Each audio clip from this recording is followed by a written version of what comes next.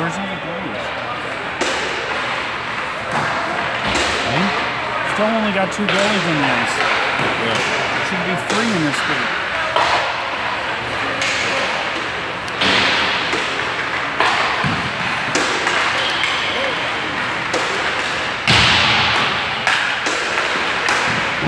Well, Parsons isn't out there, so. And this is probably the other trial goalie because he's got a white mask. I mean, both of Uh, no, it's Nick Schneider. Is it? Yeah. Parsons probably come on to the other group.